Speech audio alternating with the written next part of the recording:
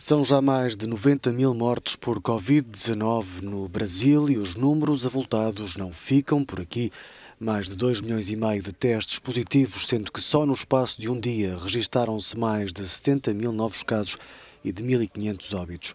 O quadro epidemiológico por semana registrou uma subida de 36%, de acordo com o último boletim divulgado pelo Ministério da Saúde.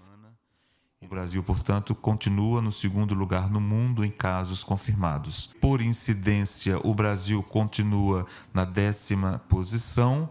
Uh, e quando nós olhamos por mortalidade, vemos, portanto, que o Brasil se encontra na décima posição no mundo em mortalidade, quando comparado com países com população de mais de um milhão de habitantes.